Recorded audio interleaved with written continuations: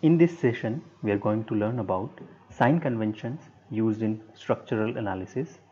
In this session, we will focus on planar structures or 2D structures and we use mainly two different sign conventions. First one is simplified vector notation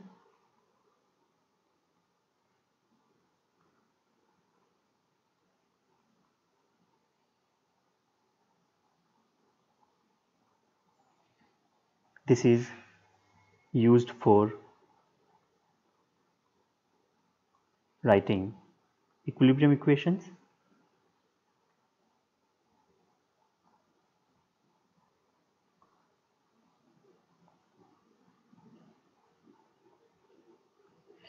Also for writing force displacement equations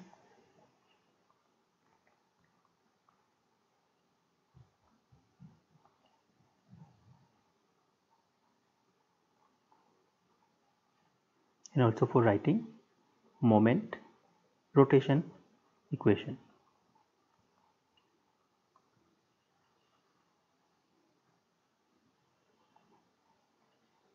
And this is mainly applicable for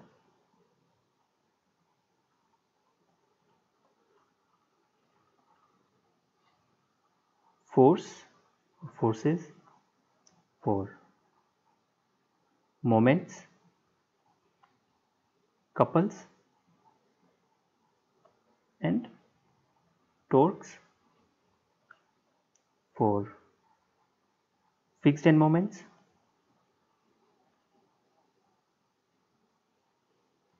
and end moments.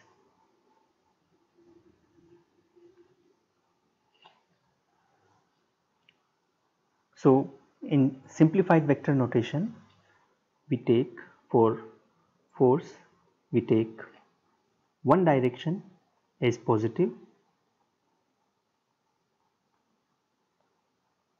and the opposite direction is negative.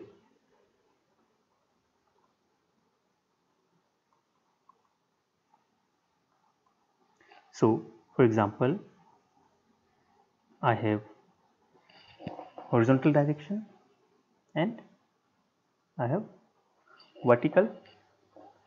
In horizontal if I take right side or right word pointing forces to be positive then I take left word pointing forces to be negative.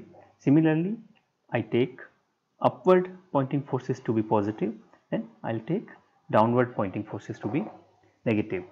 And for moments we use a clockwise or anti-clockwise sign convention.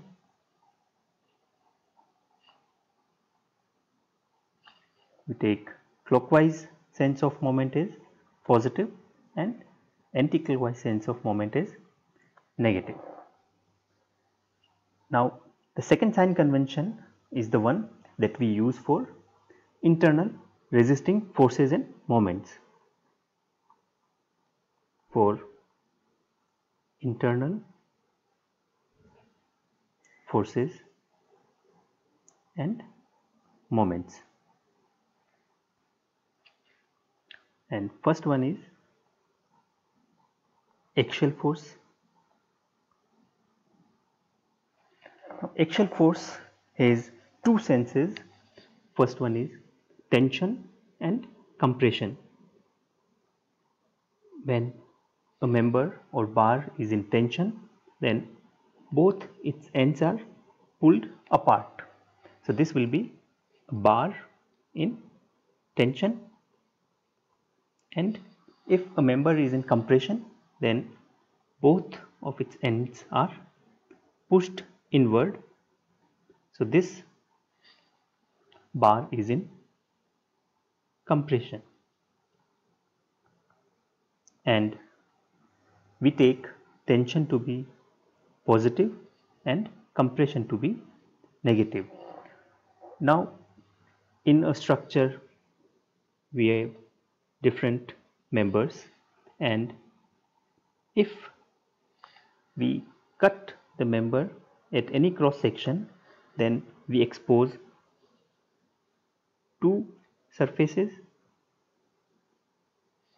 and if this member at this section is in tension then the right face exposed will have a force in right direction and the left face will have the tensile force pointing in left direction and both these forces are positive and equal in magnitude but their direction appears to be opposite. So, we have to be very careful for a member cut at a cross section we expose two faces. One face is on the right side one face is on the left side. For face on right side tensile force is denoted by right pointing arrows and on the left side the tensile force is represented or denoted by arrow pointing in left direction. And both these arrows denote positive force, positive axial force or tensile force. Similarly, for a member in compression, when I cut the member at any cross section, I expose two surfaces and for compressive force or negative force the face on right will have arrow pointing in left direction and on the face left side will have arrow pointing in right direction and both these denote negative force. So, when drawing free body diagram for a segment we have to be careful to show the positive direction for axial force. For shear force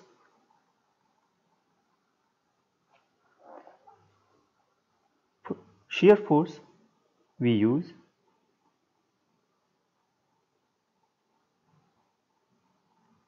this is positive sense for shear force and this is negative sense for shear force. Here we note that for a right face a downward pointing arrow is positive and for left face upward pointing arrow is positive. For right face upward pointing arrow is negative and for left face downward pointing arrow is negative. So, in a free body diagram when we cut a beam at a cross section and we need to show positive shear force then we have to be careful about the direction of arrow that we show. So, I will show the direction for or I will show positive directions for the arrows. So, I have cut my beam at this cross section I have exposed two faces this one is right face and this one is left face and if I want to show positive shear forces then for right face the downward arrow will denote positive shear force and for left face upward arrow will show positive shear force. So here both these arrows denote shear force of equal magnitude say V, V and both of them denote positive shear force. So in drawing free body diagram for a beam segment we have to show the positive sense for unknown shear force so that we get correct. Shear force diagram.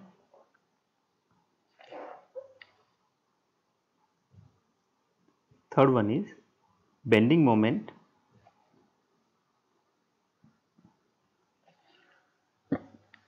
For bending moment we use sagging or hogging sign convention. Sagging shows smiley kind of deformation for beam and hogging shows reverse of smiley kind of deformation.